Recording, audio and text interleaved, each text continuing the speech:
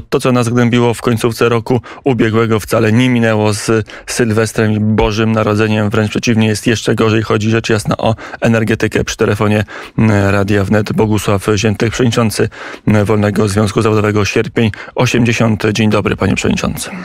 Dzień dobry, witam pana, witam państwa.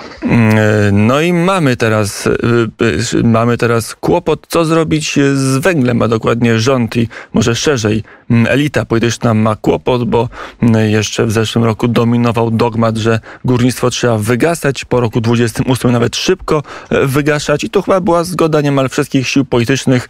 E, przyszedł kryzys energetyczny, e, wzrost rachunków za gaz, za prąd i nagle już wszystko nie jest takie proste.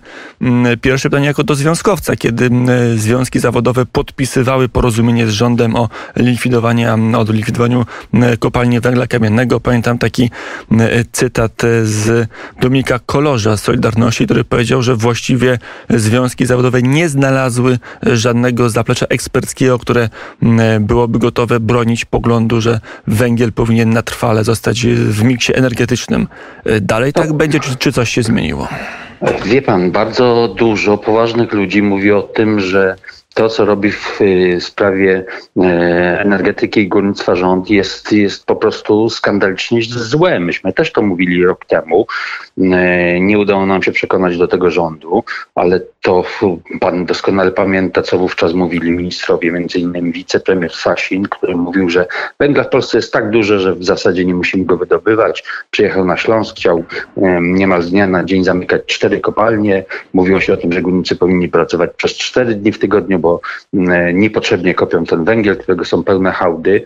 Myśmy wówczas tłumaczyli, że to jest zjawisko, które mm, jest sztucznie wywołane przez Rosjan, że oni nas chcą w taki sposób złapać w pułapkę, aby wejść na rynek polskiego węgla energetycznego i w momencie, w którym nasze górnictwo nie będzie w stanie tego węgla wydobywać, to wówczas okaże się, że mamy kłopot, tak? Mamy kłopot w ogóle z, z energią, dlatego że świat stoi przed ogromnym kryzysem energetycznym, to jest do, dopiero jego preludium. Ja na ten temat pisałem do premiera Morawieckiego kilka razy, pół roku temu. Ostatnim razem temu. trzy tygodnie temu, kiedy pan proponował i apelował do rządu, żeby premier Mateusz Morawiecki już w tej chwili przygotował alternatywny plan funkcjonowania polskiego górnictwa i energetyki w ogóle. Tak, tak. I, i, I, na ten temat też wielokrotnie apelowałem już w takich pu publicznych wystąpieniach, a wcześniej nie umieliśmy w tej sprawie się porozumieć z ministrami, z którymi negocjowaliśmy. To była w ogóle zupełnie, zupełnie inna dyskusja. My tu mamy wszystko zapewnione. Gaz będzie płynął stąd, stamtąd, zowamtąd. Nie ma, nie ma w ogóle żadnego problemu. A jeżeli chodzi o węgiel, to, to, to każdy go dowiezie pod bramę kopalni. Nie musimy go wydobywać. Rosjanie, nie Rosjanie, Kolumbijczycy, Amerykanie. No dzisiaj się okazuje, że tego węgla nie mamy. Dzisiaj się okazuje, że górnicy muszą pracować mm, przez 7 dni w tygodniu, żeby, żeby na, nadążyć na to zapotrzebowanie. A wicepremier Sasin, wie pan, to jest, to jest, to jest jakaś piramidalna bzdura. Powołuje zespół, który ma stwierdzić, kto odpowiada za to, że, że w Polsce zabrakło węgla. No wystarczy, żeby w lustro spojrzał i będzie wiedział, kto odpowiada. Ale z drugiej strony łatwo jest mówić o rządzie, tylko że żeby być uczciwym, trzeba powiedzieć, że nie tylko Prawo i Sprawiedliwość chce, czy chciało węgiel likwidować, a Platforma czy Lewica mówiło, brońcie Panie Boże, ratujmy.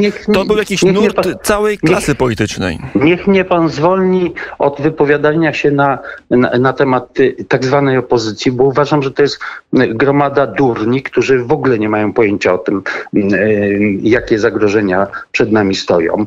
Y, wie pan, ich wypowiedzi mówiące o tym, że trzeba na życzenie Unii Europejskiej w ogóle wszystko likwidować i to natychmiast. No, Szymon Hołownia to, to, w swoim programie zapisał, że ostatnia kopalnia węgla energetycznego ma zniknąć w 1935 roku. Dobrze brawo, pamiętam. głosujmy na Szymona Hołownię, wówczas będziemy mieli podwyżki cen energii i gazu nie o 50% czy tam 100%, czy, czy incydentalnie nawet więcej, tylko będziemy mieli o 300%, dlatego że wszyscy wiemy, że energia ze źródeł odnawialnych jest co najmniej trzykrotnie droższa i trzykrotnie mniej wydajna, tak? Więc w związku z tym, jeżeli będziemy w takim tempie przestawiać się na, na, na, na inne źródła energii, to my po prostu już w 2022 roku odczujemy tego skutki katastrofalne, tak? Ja kilka tygodni temu, między innymi w tym wystąpieniu do premiera Morawieckiego mówiłem o tym, że zagrożenie jest takie, że ceny energii i, i ciepła w Polsce wzrosną w ciągu najbliższych dwóch lat o 300%. I to, I to się w tej chwili na naszych oczach dzieje. I co najgorsze, my w tej chwili nie mamy wystarczających mocy, żeby wydobyć węgiel, którego potrzebują elektrownie. I to się dzieje już, to się nie dzieje za, za kilka, kilkanaście lat. Przywołał pan tutaj umowę społeczną, którą podpisywaliśmy, tylko trzeba, trzeba zwrócić uwagę, I. O ile dobrze umowa... pamiętam, pan też ją podpisał, chociaż pan był najbardziej krytyczny. Nie, nie, nie ja jej nie podpisałem, dlatego że w, już w końcowym etapie widziałem, że to wszystko po prostu zmierza w bardzo złym kierunku. Y, podpisał natomiast mój związek, dlatego że nie chciał blokować osłon dla górników, które, które, które, które w, te, w tej umowie społecznej między innymi są zawarte. Ale ja od początku mówiłem, że górnicy w całej tej, w tej, w całej tej awanturze wyjdą na tym najlepiej, bo oni mają osłony, oni mają jednorazówki, oni mają urlopy górnicze, oni mają gwarancję dopracowania do, do emerytury na kopalniach. Natomiast polskie społeczeństwo na upadku e, energetyki konwencjonalnej i na upadku węgla straci w sposób no, dramatyczny. A tak? teraz to, pan by to, przekonał swój związek, żeby było przeciwko temu porozumieniu e, z, e, z rządem. Pan, ale ale to, to, to, to, właśnie musielibyśmy rozmawiać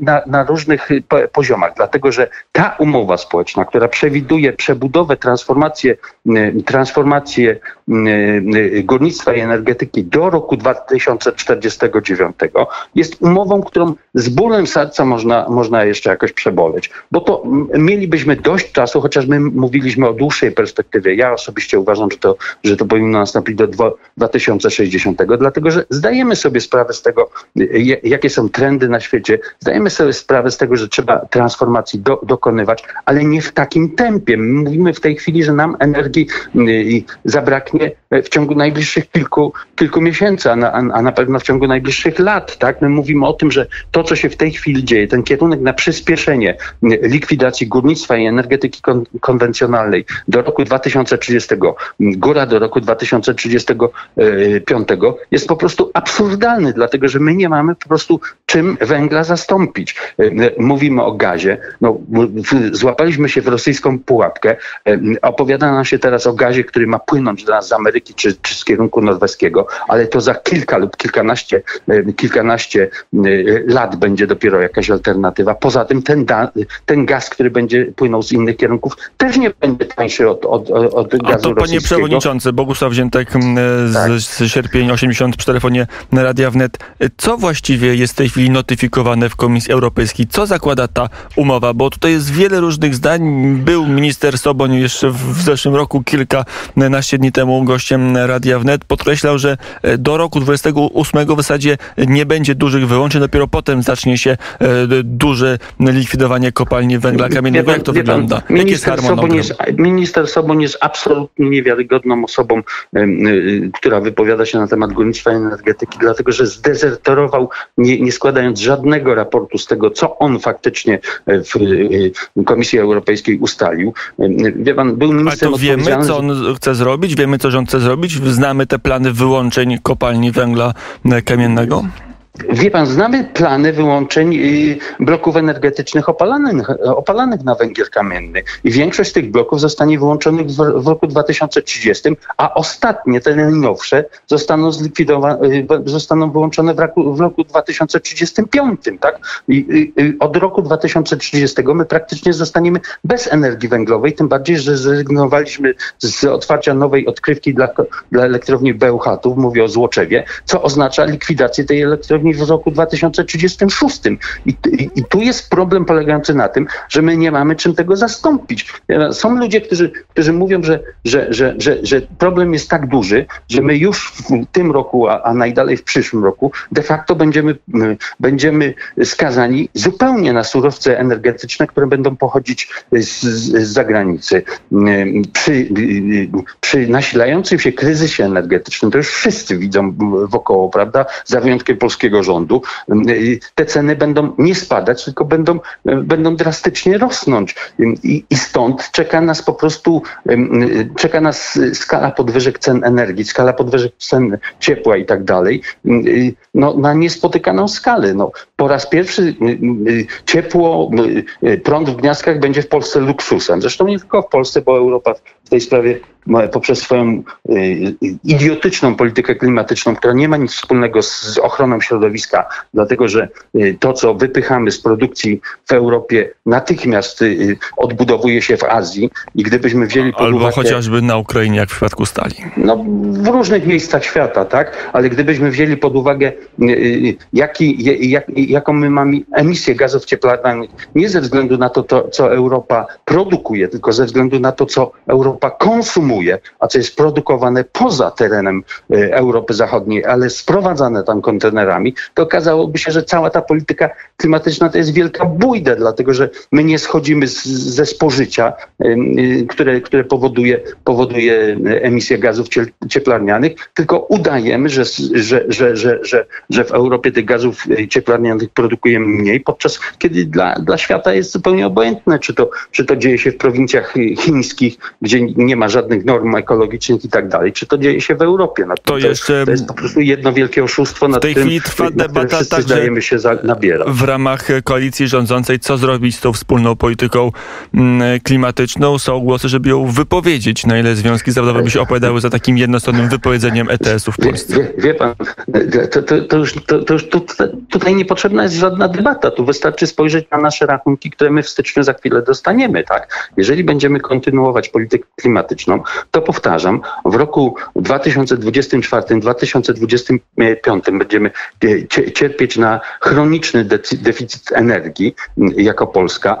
Nasze rachunki za energię, ciepło będą o 300%, o 300% wyższe, a w, Polsce do roku 2030 nie będzie ani jednej, no może jedna, może będzie jedna kopalnia. Więc tu nie ma się nad czym zastanawiać, trzeba natychmiast reagować. Dlatego ja już kilkanaście miesięcy temu napisałem do premiera, żeby jak najszybciej przygotować alternatywny program, który będzie przewidywał dwie, będzie oparty na dwóch założeniach. Po pierwsze, Unia Europejska nie zgodzi się na, na plan, który przygotowała Polska, który jest zawarty w tej umowie społecznej, o której tutaj przed chwilą mówiliśmy, czyli wygaszania do roku 2049, a po drugie, że uderzy w nas, i to już też widać, światowy kryzys energetyczny, który spowoduje drastyczny, drastyczny wzrost surowców energii. I my musimy natychmiast reagować, dlatego że już w tej chwili widać, że na rynku zabraknie do, do marca, do kwietnia około 5 milionów ton węgla y, y, po to, żeby, żeby zabezpieczyć potrzeby energetyczne kraju. Elektrownie są puste, tam już nie ma w ogóle węgla i to po raz kolejny przywołam mojego ulubionego wicepremiera Sasina, który rok temu, jak przyjechał na Śląsk zamykać kopalnię, to powiedział, że na zwałach elektrowni jest 17 milionów ton węgla. Gdzie ten węgiel jest? Gdzie on się podział? Jak się, jak się menadżerowie, którzy odpowiadają za, za wielką politykę, w ten sposób mylą, to oni powinni sobie strzelić w łeb, a nie wypowiadać się dalej i, i, i, organizować nam życie polityczne i gospodarcze. Panie Przewodniczący, gdyby zapadła decyzja dzisiaj, że czasowo albo w ogóle wychodzimy z europejskiej polityki klimatycznej, że zwalniamy tempo transformacji energetycznej, że dłużej zachowujemy węgiel w większym zakresie w naszym miksie energetycznym, to jak długo trzeba byłoby czekać na odbudowę i mocy produkcyjnych w energetyce, ale także mocy wydobywczych w górnictwie? Widzi pan, gdyby ktoś chciał z nami rozmawiać na ten temat poważnie, to my mamy ja sam mam e, na ten temat określone pomysły, które spowodują, że, że, że dałoby się uratować tą sytuację e, na bieżąco, ale dałoby się ją odbudować również w jakiejś perspektywie. Górnictwo, żeby, żeby wrócić do jakichś e, no, rzetelnych mocy produkcyjnych, potrzebuje od półtora do, do dwóch lat. Taki tam jest cykl produkcyjny pozwalający na zainwestowanie, na uruchomienie nowych ścian i tak dalej. I powiem też otwarcie, że to się da inaczej zorganizować, tak? To znaczy my mamy pomysły na transformację. To nie chodzi o to, że my wyciągamy rękę do, do, do, do budżetu państwa czy do rządu, że dajcie nam te pieniądze, my je, my je przejemy. Ja przypominam, że te pieniądze, które idą w tej chwili, które są zapisane między innymi w umowie społecznej, to idą na likwidację, a nie na, na, na, na, na tą branżę. Tak? Idą na Ale odejścia. krytycy na... górnictwa i energetyki opartej na węglu mówią wprost. Znaczy jest hossa, jest hossa na, na rynku także węgla, a Polska Grupa Górnicza i tak jest pod kreską i tak nie zarabia. górnictwa i energetyki kłamią, dlatego że w tej chwili Polska Grupa Energetyczna sprzedaje zakładom energetycznym, koncernom energetycznym węgiel po 11 zł za gigadżula, a, mogłaby sprzedawać po 17 zł za gigadżula. Więc, Ale z drugiej strony wcześniej energetyka trochę włożyła pieniędzy w górnictwo. No wie pan, a... Trochę pieniędzy włożyła, to oczywiście mówimy o a, dziesiątkach miliardów złotych. Ale włożyła między innymi dlatego, że y, dwa lata temu zaprzestała odbiorów zakontraktowanego węgla, więc nie włożyła nic dodatkowego, tylko oddała to, co powinna zapłacić za wydobyty węgiel. Wie pan, tu się cały czas y, z górnictwa robi takiego chłopca do bicia, żeby nie powodować wzrostu cen energii, więc hamuje się wzrost cen, cen węgla. Wie pan, dzisiaj mamy ceny energii od 1 stycznia wyższe o 24% w stosunku do, do, do roku ubiegłego, a to jest dopiero początek. Ale ceny węgla dla energetyki rok do roku spadły.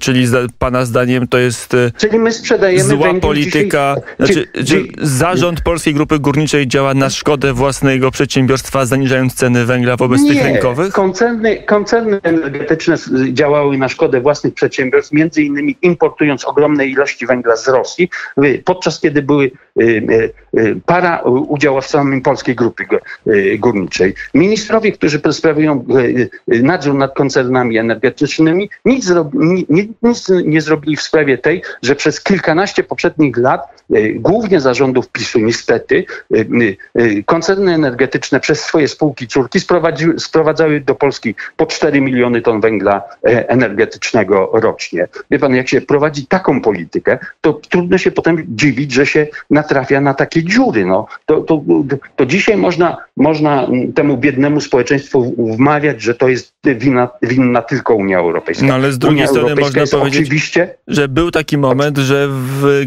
naredzie portu w Gdyni węgiel z Australii był tańszy niż na bramie kopalni na Górnym Śląsku. Takie pokazano nam też dane i one chyba nie były całkowicie fałszywe.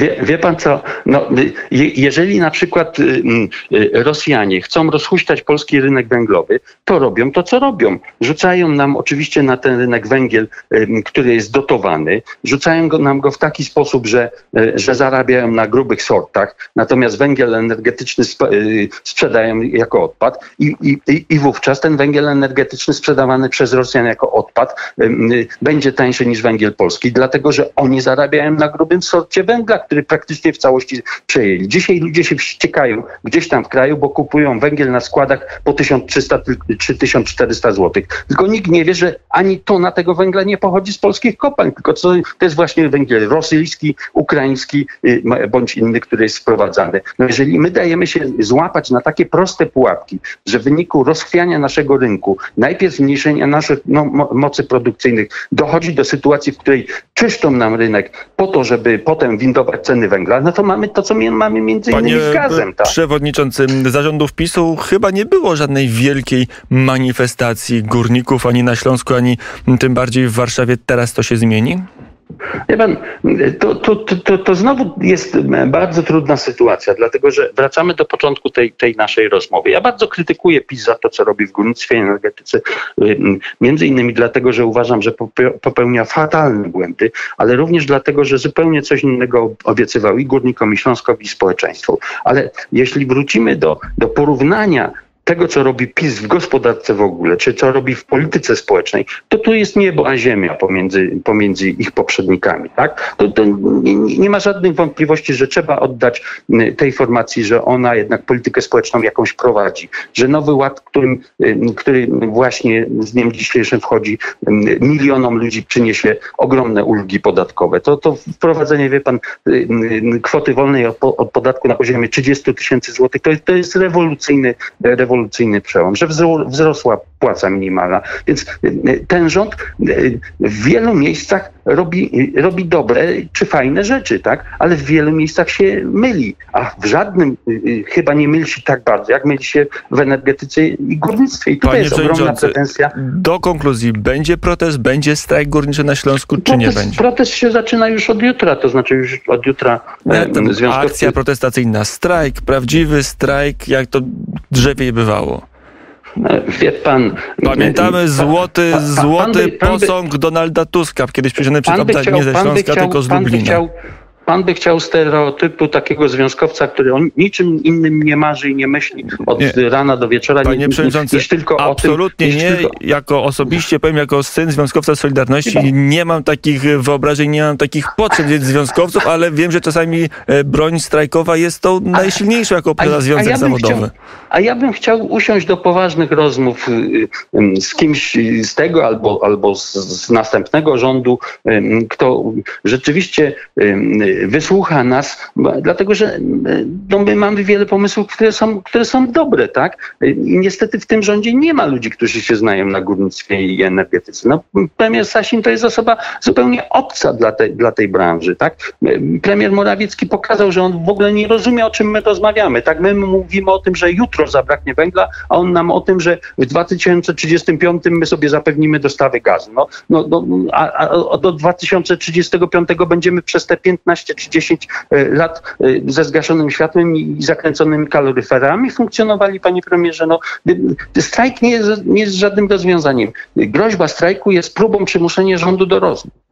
Powiedział gość popołudnia wnet e, Bogusław Ziętek, e, Wolny Związek Zawodowy Sierpień 80. Dziękuję bardzo za rozmowę. Dziękuję panu również.